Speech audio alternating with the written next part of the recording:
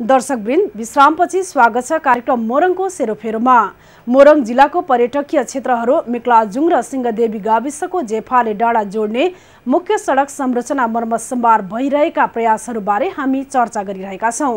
कुनै पनि काम एक्लै गर्नुभन्दा समूहमा भयो भने प्रभावकारी मानिन्छ। त्यही भएर सडक मर्मत समूहले खोर्साने केराबारी सिंहदेवी समेवा सडक मर्मतको काम कसरी गरिरहेको छ? प्रस्तुत छ यस सन्दर्भमा सहकर्मी बाबुराम भण्डारीको रिपोर्ट। जिल्ला विकास समिति मोरङले विकट र पहाडी गाविसहरू जोड्ने सडकहरूको नियमित मर्मत सम्भार गर्दै आएको छ। त्यसका लागि जीविसले विकास निर्माणका काममा संलग्न ठेकेदार र सडक मर्मत समूहहरूलाई तालिम समेत दिएको छ। सडक मर्मतमा स्थानीय उपभोक्ताहरूको समेत सहभागिता अनिवार्य गराउने उद्देश्य अनुसार सडक मर्मत समूहहरू गठन गरी समूहका सदस्यहरू मार्फत सडक मर्मतको काम भएको ग्रामीण पहुँच कार्यक्रम तिनकी सामाजिक परिचालक शकुन्तला भट्टराई बताउनुहुन्छ। जुन जिल्ला सडक मुख्य सञ्जाल अन्तर्गतका सडकहरू छन् त्यसमा सत्रवटा सडक मा चाहिँ यो आरएमजी सडक मर्मत समूह राख्ने यसको प्याकेज राख्ने भनेर यसमा निर्णय गरिएको छ।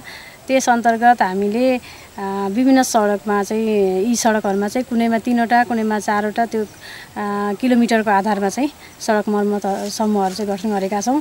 खास गरी एक्लै गर्नुभन्दा समूहमा काम गर्दा चाहिँ काम पनि प्रभावकारी हुने साथै काम पनि देखिने र उहाँहरूलाई पनि एउटा समूहको एक्लो महसुस नहुने भन्ने आधारमा चाहिँ यो समूहको अवधारणा आएको हो। वर्षा कम हुन थालेपछि गत श्रावण महिनादेखि खोर्साने केराबारी सिंहदेवी समेवा सडक मर्मतको काम अगाडि बढेको हो। यो सडक मर्मतका लागि तिनवटा मर्मत समूह सक्रिय छन् भने त्यसमा जम्मा पन्ध्रजना सदस्य छन्। पाँच पाँच सदस्य रहेको प्रत्येक मर्मत समूहले आफ्नो खण्डको सडक मर्मत गर्दछन्। अडसठी लाख पाँच हजार सात सय छब्बिस रुपियाँ लागतको खोर्सानीदेखि समेवासम्मको सडक अडतिस किलोमिटर लामो छ। सडकको पहाडी खण्डमा मर्मत सम्भार गरिरहनु पर्दछ भने तराई क्षेत्रमा खासै मर्मत सुधार आवश्यक पर्दैन। सडक मर्मत भएपछि स्थानीय उत्पादनहरू बजार पुर्याउन दुःख विराम पर्दा स्वास्थ्य संस्थामा पुग्न र बालबालिकाहरूलाई विद्यालय जान सहज बनेको मर्मत समूहका पदाधिकारीहरू बताउँछन्। हुन्छ नि सबै थोकमा अब बेचबिखन यस्तो अब के के हामी सब्जीहरू लायो भने पनि लगेर घरबाट पहिले बोकेर लानु पर्थ्यो। अब त्यो बाटो भइसकेपछि चाहिँ अब गाडीमा आउँछ गाडीमा लानुपर्छ। दुखुङ्गर हुँदा ओर्दा पनि त बोकेर लानुपर्थ्यो पहिले। अब यतिको बाटो आइसकेपछि सजिलो धेरै सुविधा हुन्छ भएको छ हुन्छ भन्ने लागेको छ। अझै धेरै राम्रो हुन्छ होला भन्ने लागेको छ हामीलाई चाहिँ। जिल्ला यातायात गुरु योजना अनुरूप सडक सञ्जाललाई स्तरोन्नति गर्दै मोरङ जिल्लाका सडक नपुगेका ठाउँमा सडक पुर्याउने नीति रहेको छ। त्यसै अनुरूप यस्ता सडकहरूमा कलभर्ट पुल पुलेसा निर्माणको कामलाई पनि प्राथमिकतामा राखिएको छ। सिंहदेवीलाई नमुना गाउँ विकास समिति बनाउन एकीकृत विकास अभियान कार्यक्रम सञ्चालन समेत गरिएको छ। त्यसका लागि सडक यातायातको सञ्चालन अनिवार्य भएकाले मर्मत समूहहरू सडक सञ्चालनमा जुटेको बगैँचा गोल ग्राउन्ड सडक मर्मत समूहका अध्यक्ष खिन प्रसाद लुइटेल बताउनुहुन्छ। यहाँदेखि जाने ड्रेन हामीले चाहिँ के गर्नु ड्रेन पानी सही ड्रेनमा पानी बगाउने काम गर्यौँ टर्निङ टर्निङको पानी अर्कोमा कटाएर यस्तै पानी सही बाटो नखोल्ने ठाउँमा गऱ्यौँ। गर्दै गर्दै यो फाँड्दै तल गरेर फाँड्दै त्यो पानी सही कुराउँदै खाल्टा पुर्दै पुर्दै हामीले तल पुगेको मैले रेगुलर एक बजीदेखि पाँच बजीसम्म ड्युटी अनिवार्य गरिरहेको छौँ अहिलेसम्म। अहिले दुई महिना भयो काम गरेको दोस्रो महिनामा चालु भयो। दोस्रो महिनामा चालु भएर अहिले गर्दैछौँ। अब फान्ने काम हाम्रो झाडी फान्ने काम हाम्रो भोलि सम्पन्न हुँदैछ।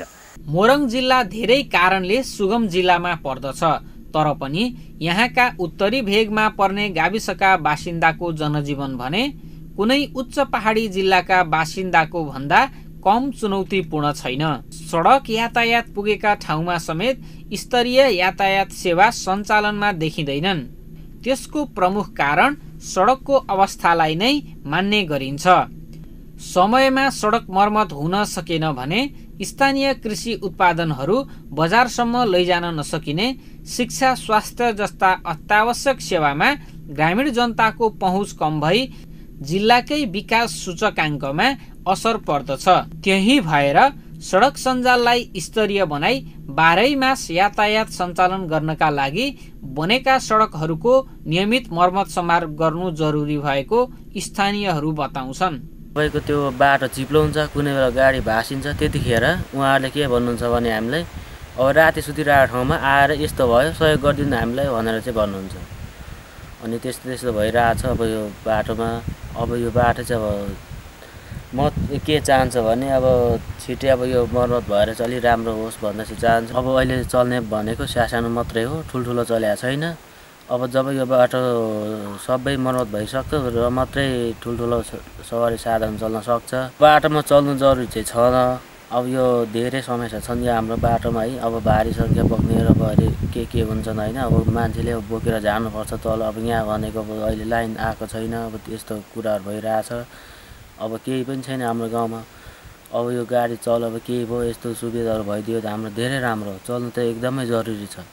र फाइदा पनि हामीलाई धेरै फाइदा छ यो ठाउँमा बाटो अब गाडीहरू चल्यो भनेदेखि त।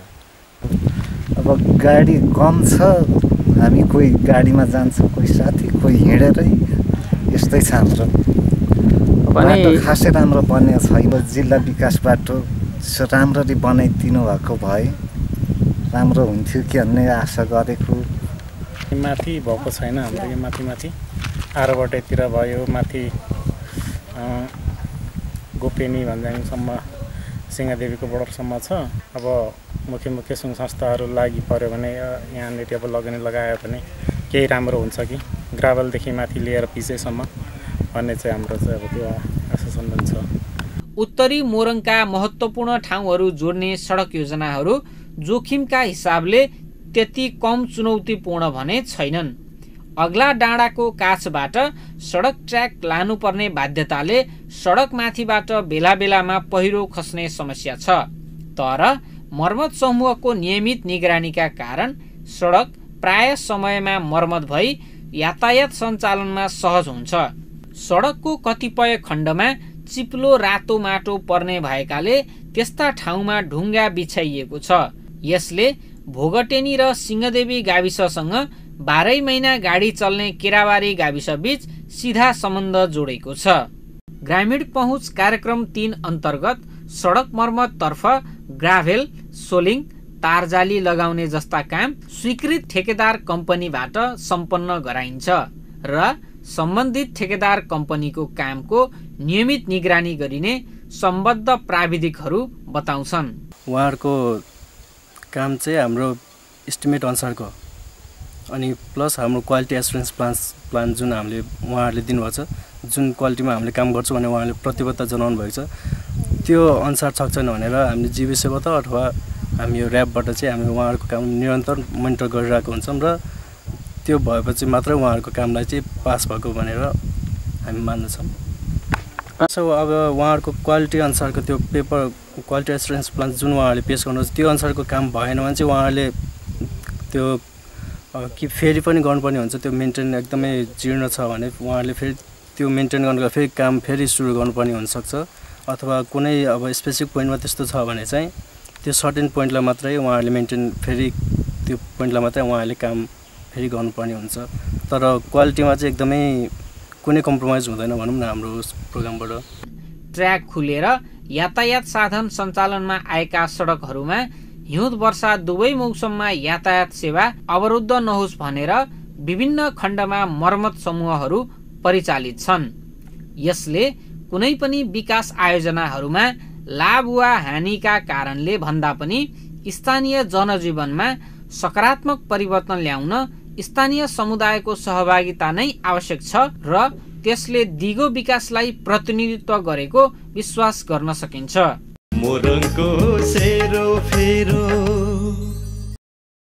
मोरङ जिल्लामा ढुङ्गा गिटी बालुवाको ठेक्का आर्थिक वर्ष बितेको तीन महिनापछि लागेको छ। असोज तेह्र गतेदेखि ठेक्का लागेपछि मोरङ जिल्ला भएर बग्ने प्रमुख खोलाहरूबाट नियमित रूपमा ढुङ्गा गिटी बालुवा उत्खनन तथा ओसार प्रसार हुन थालेको हो। सहकर्मी बाबुराम भण्डारीको यो रिपोर्ट। छ करोड एकचालिस लाख एघार हजार एक सय एघार रुपियाँमा तिन महिनापछि मोरङ जिल्लामा ढुङ्गा गिटी बालुवाको ठेक्का लागेको छ। ठेक्का लागेपछि मोरङका आठवटा प्रमुख खोलाहरूबाट वर्षेनी निकालिने ढुङ्गा गिटी बालुवा तथा भरोट माटो उत्खनन गरी बिक्री वितरण गर्न बाटो खुलेको हो। सरकारले ढुङ्गा गिटी बालुवा उत्खनन तथा ओसार पसारमा प्रतिबन्ध लगाए यता नदी खोलाबाट उत्खनन तथा ओसार प्रसार बन्द रहेको थियो। ठेक्का लागेपछि नदीबाट सङ्कलन गर्न बाटो खुलेको हो। ठेक्का सदर भएको सुनसरीको इटहरी दुई स्थित विनिता श्री ट्रेडर्स एन्ड सप्लायर्सले मावा बक्राहा सुनझोडा डाँस चिसाङ गछिया लोहन्द्रा र बुढी खोलाका विभिन्न पन्ध्रवटा नाकाबाट खोला दस्तुर सङ्कलन गर्ने जिल्ला विकास समिति मोरङले जनाएको छ। ठेक्का सम्झौता अनुसार ठेकेदारले असोज चौध गतेबाट आगामी आर्थिक वर्षको भाद्र मसान्तसम्म दस लाख एकहत्तर हजार एक सय बिस घनमिटर ढुङ्गा गिटी बालुवा उत्खनन गर्न पाउनेछ। यसैबीच मोरङ जिल्लामा रहेका क्रसर उद्योगहरूमा सञ्चित रहेको ढुङ्गा गिटी बालुवाको परिणाम पनि प्राप्त भएको छ।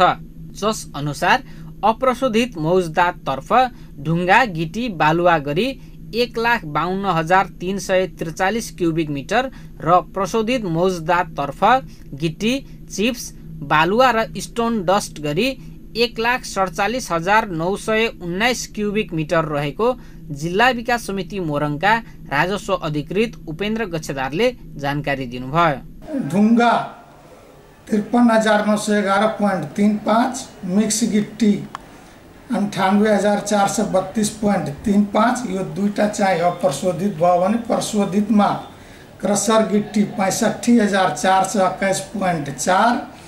चिप्स टेन एमएमको बासठी हज़ार पाँच सय पोइन्ट पाँच। बलुवा एक सय पचास घन मिटर। स्टोन डस्ट उन्नाइस हज़ार आठ सय सडचालिस पोइन्ट जिरो चार आठ घन मिटर रहेको यो यो स्टक परिमाण चाहिँ जिल्ला स्तरीय अनुगमन तथा समन्वय समितिको मिति एकहत्तर पाँच एकतिसको बैठकबाट प्रमाणित भइसकेको छ।